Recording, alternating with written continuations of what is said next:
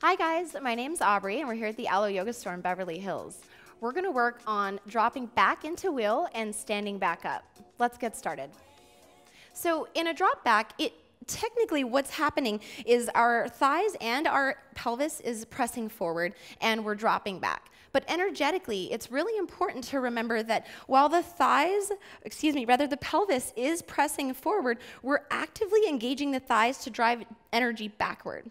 And while we are, yes, dropping back, we're actually going up, up, and up as much as we can before we start our drop back. So I have a fun little exercise we're gonna do so that we can get used to engaging our thighs and engaging our core to create that lift and that movement.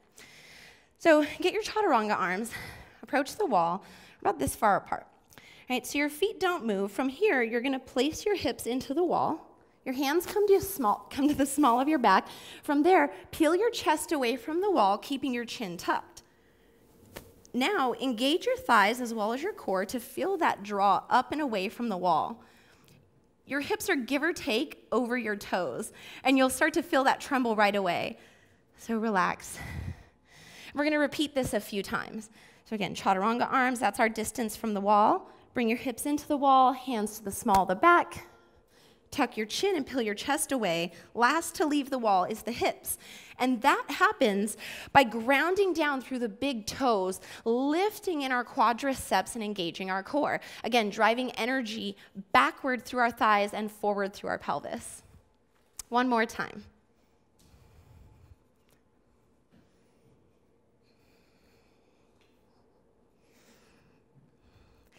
Once you get this, experiment with this space right here. How long can you hold? How stable are you? Do you feel any pain?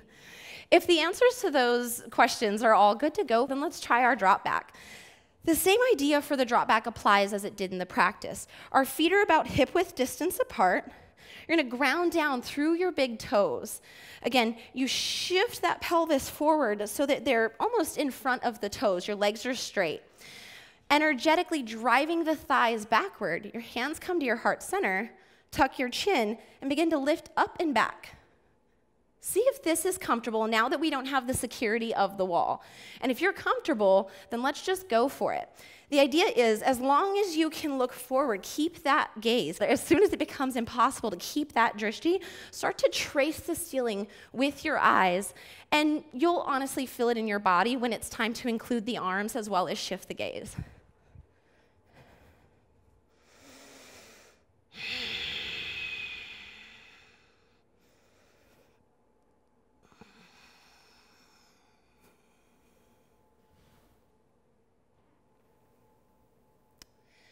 Notice that when I dropped into my wheel, I meet with the fingertips first, and I come onto the palms as gracefully as I can. And that's going to create a safe environment for my spine, as well as requiring my muscles to learn what it means to support my body in this shape. It's also going to be really beneficial when we start to come back up. So that same motion I was talking about with the rocking, you'll notice it naturally creates the same or rather opposite motion where my palms of my hand leave the mat first. So paying attention to that idea, begin to rock front and back. Notice that you come onto the fingertips, and at this point, the weight transfers into your legs. And just as we did in the beginning and in the exercise, we really put a lot of emphasis onto the legs to protect our spine and to accomplish our drop back and standing back up.